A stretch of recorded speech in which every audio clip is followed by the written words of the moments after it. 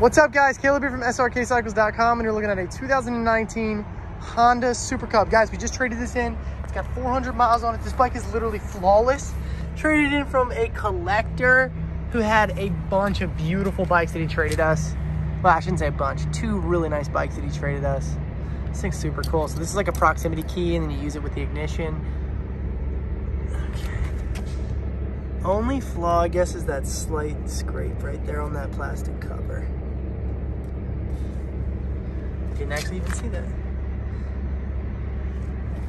This is the ABS model. They might all be ABS models.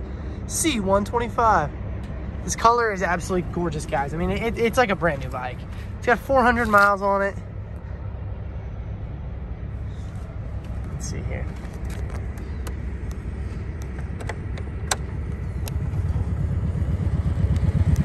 Four hundred forty-eight miles on it. It's a Honda Super Cub. It's 2019. It runs perfect.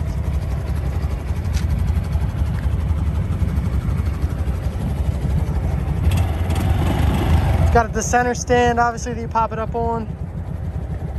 Guys, this bike is super iconic. Uh, let me know if it's something you're interested in, guys. Thanks, Tom, for watching.